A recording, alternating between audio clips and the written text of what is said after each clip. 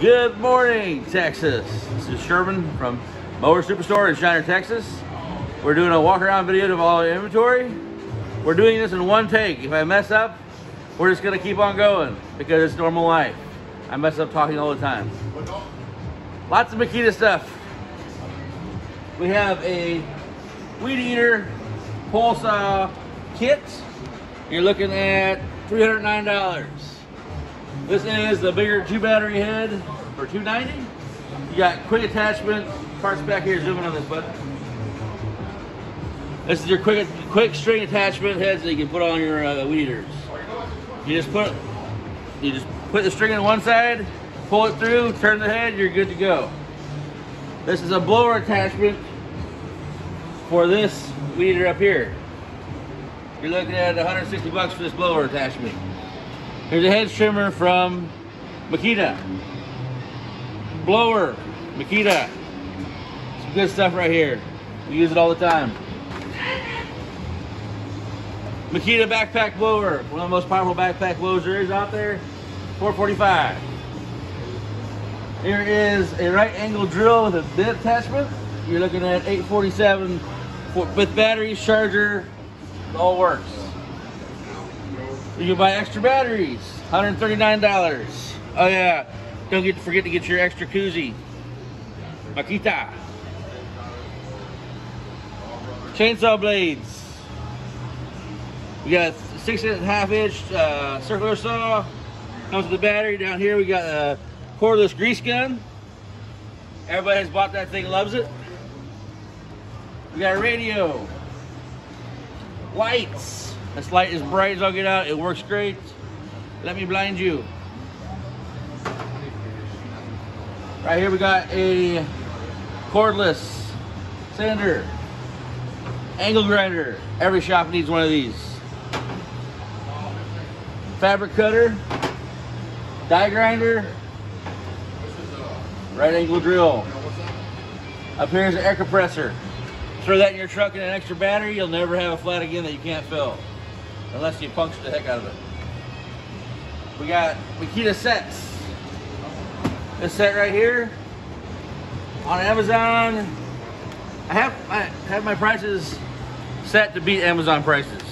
You can't get it cheaper than here. Maybe. Hopefully not. All right. Makita Tower. Let's see, let's check this thing out. Let's see if I can remember how to do this. Where is the, this thing slides up. Troy, how's this thing work? You're the one that did this. Ah, that helps. this slides up to about eight feet. These lights can go in and out. We had it on the other day, it lasted for about six hours on dim. All right. Here we got a Ferris Hurricane blower. That thing blows so hard it took concrete off the off, asphalt off over here. All right, swing around. Got the sprayers. Over here we have Greenworks commercial weed eaters. These are 80 volt weed eaters, the most powerful electric weed eater in the industry. Chainsaws, head trimmers, the whole works. Backpack blowers, blowers. Right here is the 800 side-by-side from Greenworks. This side-by-side -side goes 61 miles on a charge. After that, it goes into limp mode, goes about five more miles in limp mode. It is built around a gas frame. Like this, this vehicle was made by Hisun, and the Greenworks bought the vehicle and put their electric motors into it.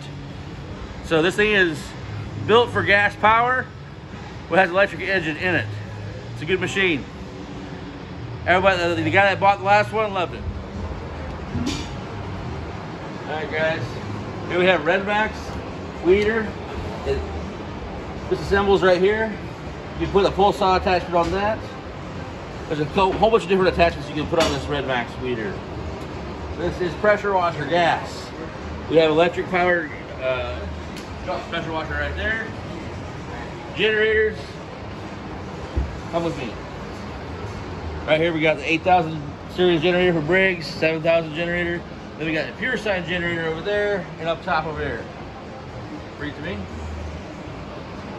The pure sine generator is a generator that you can use with electronics. Don't have to worry about power surges frying your generator or frying your electronics. All right, let's come down here.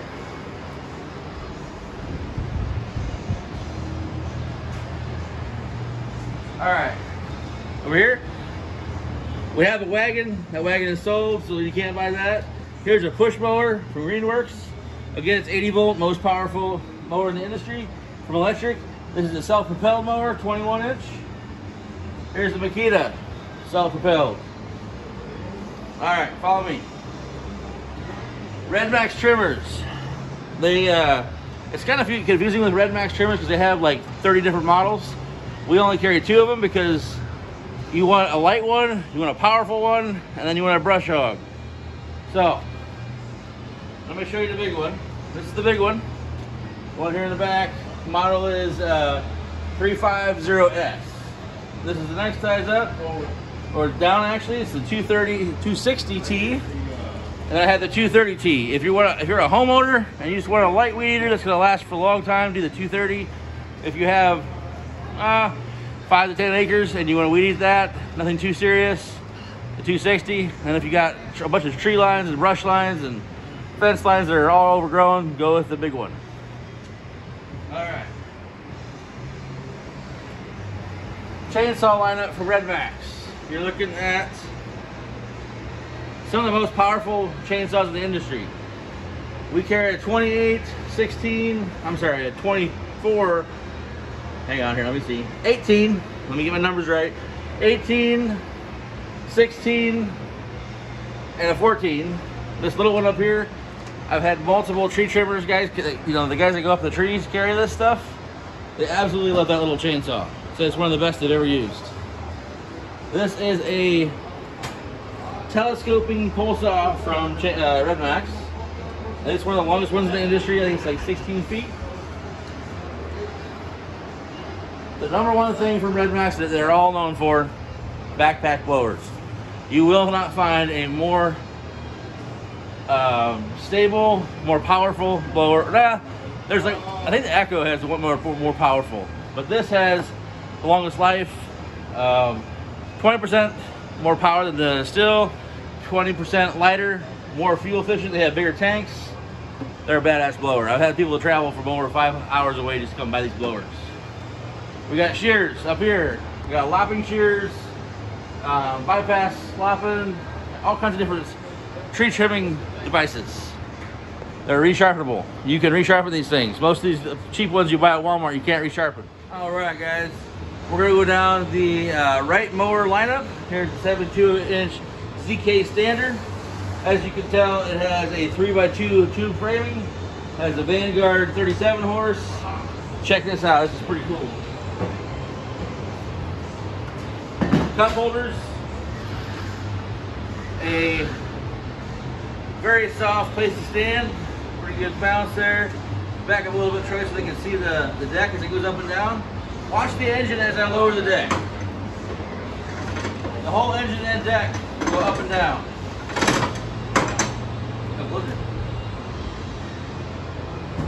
One one thing to think about is that I'm lowering a 72 inch deck and a 37 horsepower engine.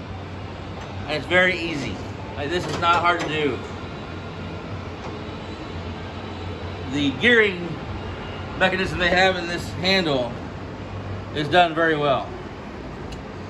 They have, one thing that's uh, different to Wright is the handles up front here and in the back of this bar. So some people like to be back here to control from here, some people like to be up here whatever your preference is. Moving on to the ZK or to the uh, XT, 40 horsepower. Uh, you got your brake up front here. Try to check this out. Come over here. This whole platform goes up and down when you sit on it. Here's the spring. Here's the knob to adjust that tension on that spring. Very easy to adjust. So, back out a little bit. So the whole platform goes up and down, plus you have a suspension seat. Another thing I like is the adjustable handles. For big people like me, all you have to do is turn this knob and you can rotate the handle however you like. Make it fit you. Come around the back side, Troy.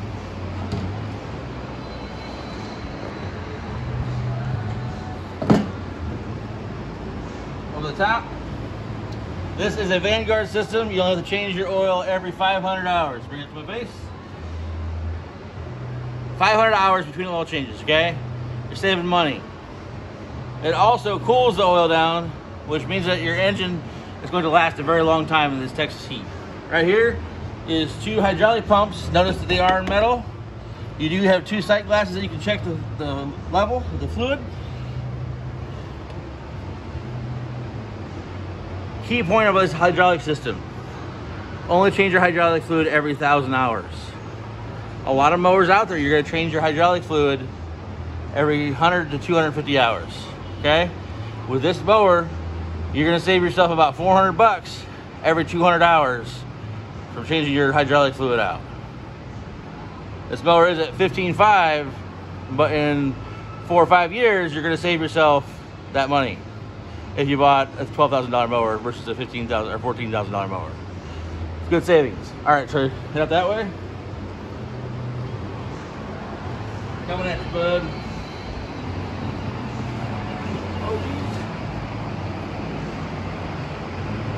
All right. So at the end over here, we got a 72 inch, and we got a 61 inch, and a 52 inch. 61, 52, 61, 72. All right, swing around. Swing around, okay. I gotta boss them around a little bit sometimes. All right, here we got a 52 inch electric mower. Everybody says, oh, electric, oh, it's so bad, so bad. Oh, we don't want to do electric. If I had to mow a school or a county that had no emissions or something like that, Greenworks mowers what I go with. There's other brands that do electric. They don't even come close to Greenworks. It's 80 volt power. This thing mows 12 acres on one charge. The deck is a seven gauge steel deck. Let me lift it up. Man. Get in there so they can see.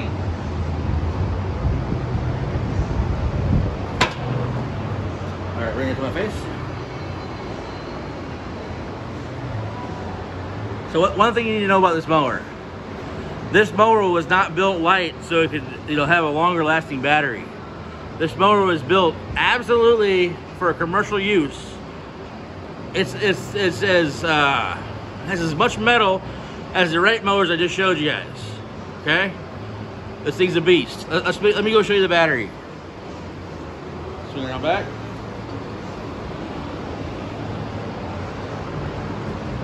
Ooh, locked it. Up here. This is a 16 kilowatt battery. Lasts 12, acre, 12 acres, 10 to 12 acres depending on how thick and how wet the grass is. 82 volts. Over here to me. All right, I want to introduce you guys to somebody. About a month ago, I hired Randy. He's just out of the Air Force a couple years ago. He's doing a badass job. There he is. Hey guys, how y'all doing? My name's Randy. I've been here for about a month.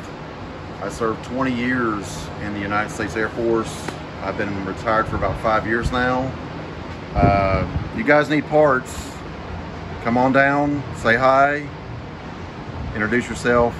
Um, I can find anything if you don't have it, or if the other uh, places don't have it, I can look it up. You can have your part usually here in about three to five days, depending on what mail service is coming and bringing it in. So you guys need a oil filter, we got them. Got plenty of oil filters. Got oil, uh, hydraulic, hydraulic filters, anything to service your needs as far as your mower goes, we have it. Uh, just give us a call and uh, I'll be happy to, to say hi and introduce myself. Bam. Hey Randy, one question. What did you do in the Air Force? I was a uh, aircraft mechanic. Served on the uh, cargo planes, C5s, 141s a little bit, mainly C-17 and KC-10 aerial refuelers. So I got a lot of knowledge as far as parts goes uh, in the aircraft world and mowers too. So uh, it was a lot of fun and uh, it's glad to be back home in Texas. Hey, hey Randy, one, one last question before we go, let, let you alone. What mower do you own? I own a bad boy diesel, the big Renegade over there, 72 inch, 35 horsepower. That thing's a beast. All right, guys, we're here at the Red Max section at Mower Superstore. I'm sitting on a 54 inch RZT, great little mower for one to two acres. Uh, you're looking at about $4,000. It's got the same pumps the Magnum does for Bad Boy and same engine. It's Kawasaki engine. Red Max has one of the best warranties in the industry. The, the RZT series has a 400 uh, hours or four years. The next series, the X series, is a five years or 400 hours. And then the commercial mower, you're looking at five years or 750 hours. That kind of a warranty is ridiculous. Bad Boy's only a two year or 200 hour warranty. Commercial is two years or unlimited hours. So the Red Max mowers have they stand behind them. They're a good mower. Um, here's the crazy thing I want to show you about these mowers. Real close here. Grease zerks. Here, here, here, here, and here. All mowers. This is, this is the smallest Red Max they make. All the way up to the commercial in the back, they all have greasable bearings. Okay? That for me as an old timer, that, that makes a difference for me. That means these bearings are gonna last. I've, I've, I have yet to replace a spindle on a Red Max and I've replaced a crap ton on Bad Boy. Did I just say that out loud? I shouldn't have said that, but it's the truth. All right, check this out. This is the residential, comes with an FR730V engine. This is the next series up. It also comes with the, the FR 730 engine, but the, this mower, this engine here, or this mower here, has a bigger transmission. As you can see, the batteries are easily accessible. They don't have the batteries in the fender like some other brands I won't mention who. Here's a commercial 60 inch. This is the same mower that I've had at our ranch, mowing 10 acres for over a year. Shine on me. Okay. So for the last two years now, we've used one of these mowers at our ranch mowing 10 acres. They've lasted, there's nothing, nothing has ever went wrong with them, okay? I've demoed a lot of different mowers and as far as longevity and how good they're made, two thumbs up. All right, next we're going to Bad Boys. Come with me.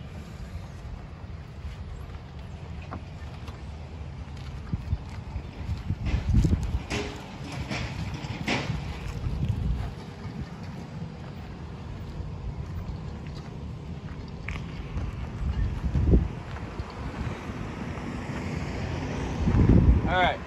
One thing you need to know about Bad Boy. Very easy to work on everything, okay? This is the smallest Bad Boy they make. Uh, just lift that lid up, you get to your belt tensioner, right? Seat. The seat just flips forward. Get to your battery real easy. It's even easier than Red Max. Everything's wide open. Every single model, from the smallest one to the biggest one, which is right over there, has the same features. The deck, seven gauge steel. Um, as you get bigger in the models, obviously more metal, but they all use the seven gauge steel. It's like the bigger models will use double layer seven gauge steel. All right, let's go down the line.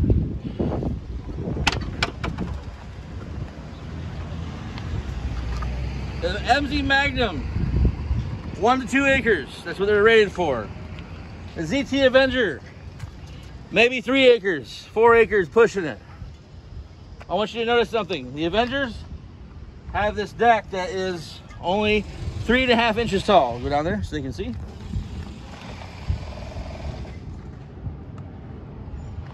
So three inch tall deck. And then when you, this is a Revolt, stand on 36 inch, you're looking at about 66.99. Avengers, you're around the five mark. I forget the exact exact number on that.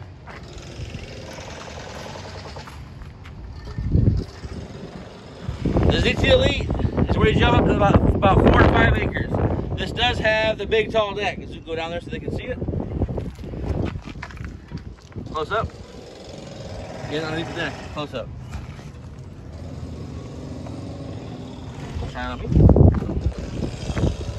So if you guys want to mow tall grass that's over six inches tall, you're gonna want to get the ZT Elite or higher.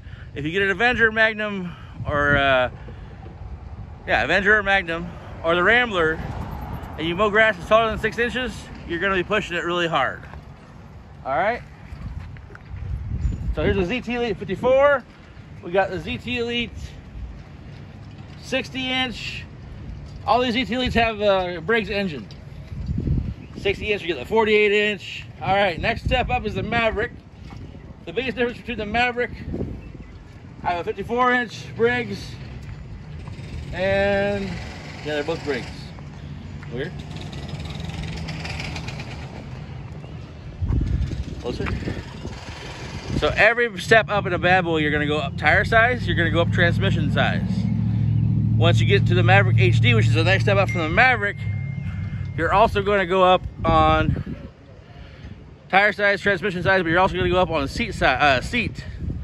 The Maverick HD has the suspension seat, which by the way, for a big guy like me, suspension seat makes a huge difference. Um, the ZT Elite and up has a uh, suspension system on it. has these rubber grommets. Show them the rubber grommets right here front and on the rear. Oh yeah. You might hear jackhammering in the background. Last Friday, was it Friday or Saturday, Troy? Uh, I think Friday.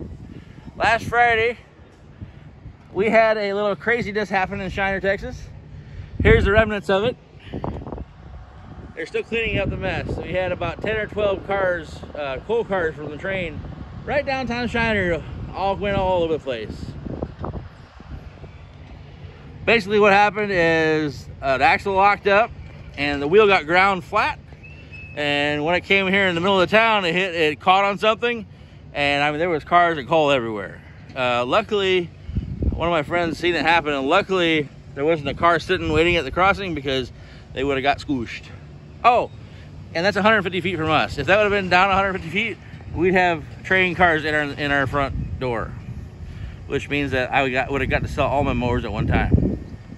Eh, I don't. I'd rather sell to one of you guys. All right, Troy, let's go over here and look at the rest of the bad boys.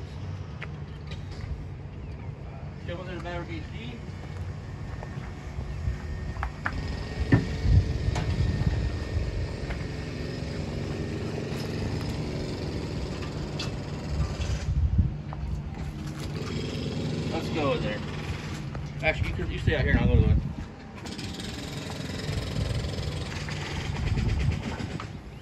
So as you can see, the Maverick HD has a suspension seat.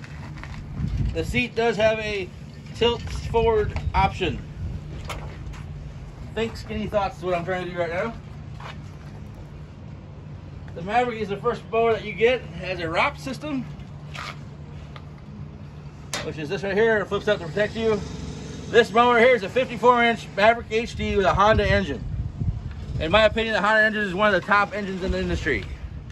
It's also very expensive, but you pay for what you get.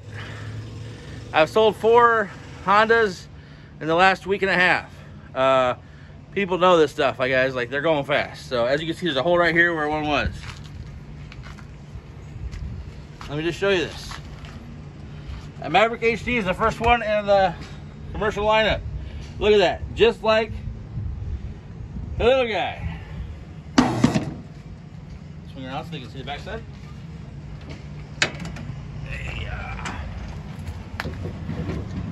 Look at that. Lots of open spaces.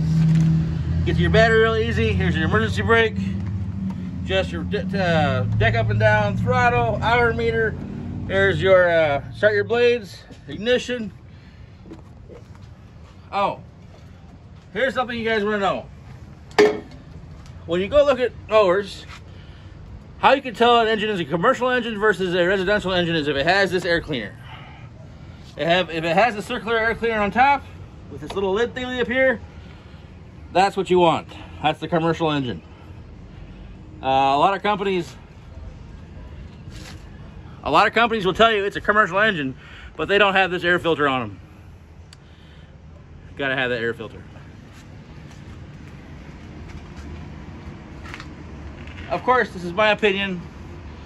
Somebody else out there is going to try to sell you something different. But as you know, look at all these bad boys here. Here's a Kawasaki and the Rebel 850V. It's got the same tube, different different engine company, but they say have the same filter. Uh, when you jump from the Maverick HD, hey Troy, come back please. Let's just stay right here for a while. When you jump from the Maverick HD to the Rebel, you lose that front suspension a little bit, but you get the through the suspension at the back. It has a better, bigger tube frame. Check this out over here. See that? Uh, you plug your phone in right there. Right there. Hour meter. This has a suspension seat as well. All the commercial bad boys have a suspension seat. Here is over here, the Rogue 852. This is the Kawasaki 850. I have another Rogue with a Kawasaki 850. I have three. Okay, so here, check this out. This is the difference. This is a 999 cc. So this is the big 40 horse. That one back there is a 32 horse. So I got both engine options. Oh, check this out. Look at this baby. This is a Rogue 824cc Yamaha engine. Troy drove this. We raced against this the other day. I had the Renegade. Uh, my brother-in-law had the Rebel, and Troy had this Rogue here with the Yamaha. The Yamaha won by two to three miles per hour. Uh, I just think it's geared a little bit different, a little bit faster. So, I have a bunch of Rogues, bunch of Rebels. I have more commercial mowers than I've ever had from Bad Boy. Come on down. We got some really good prices going right now. I don't really want to say it online because I don't want my competition to figure it out. So, call me. All right, let's go to World Lawn. Oh, oh I forgot one. This is the biggest and the baddest of bad boys. It's a Renegade with a 993 gas-powered engine. It's a Vanguard engine. This thing is a beast. I would put this up against about anything out there. Except for maybe uh, a Wright or a Ferris. All right.